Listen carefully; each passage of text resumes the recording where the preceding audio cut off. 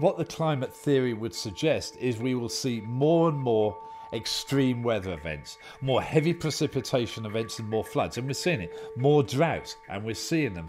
More extreme weather events such as hurricanes, where they'll be more intense. With uh, Hurricane Sandy, uh, the effects of uh, a major hurricane became very, very clear in New York City and the surrounding areas. If the exact same hurricane occurs 50 years from now, with let's say a two feet of uh, sea level rise, the effects are going to be much, much worse. Can I say Sandy was due uh, to uh, global warming? No. Is it the sort of event I would expect to become more frequent in the future? Yes.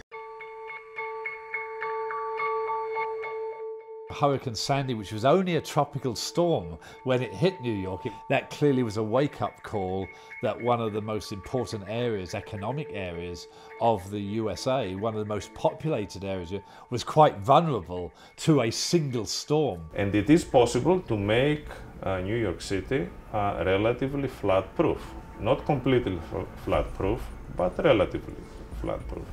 New York City was unprepared for Sandy how can they deal with it? Well, New York is likely to build some seawall defences.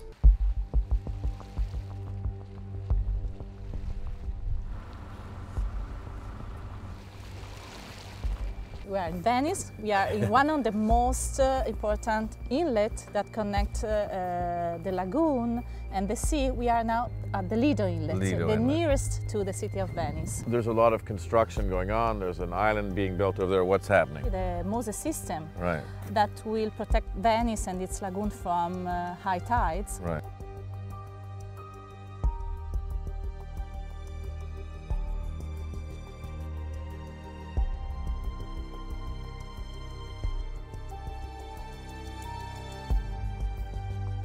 So this is what it'll look like? Yes, we have dredged the, the trench right. and we have put this uh, concrete and next year we have to install these steel gates, right. the steel pontoons. They're always full of water yeah. when uh, there is a high tide yeah. before the uh, dangerous level. Yeah. We will put air inside them so they go up. They stay in this position between sure. 42 and 46 degrees. Uh. They float they move. Yeah. This is not a unique barrier sure. yeah. because they have to move. They have to stop the tide, but uh, it's an elastic sure. defense. And then when they stop it, they go down. Yes. So the so, barriers are here. Yes. Now when you don't have the gates, the water just comes in. Yes. And, and flood Venice. And many people now from foreign countries look at Venice, yeah. the Venice solution, because this is a long-term solution. So once the Mose system is in in 2016, it should last uh, uh, 100 years. Yes, yes, absolutely. Yeah.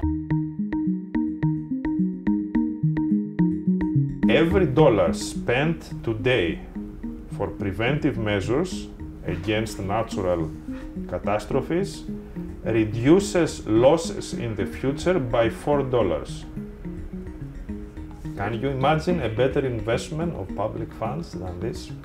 Winston Churchill once made a comment about Americans, and it says when there's a problem, they will try every possible solution until at the very end they'll do what obviously will work the obvious thing to do.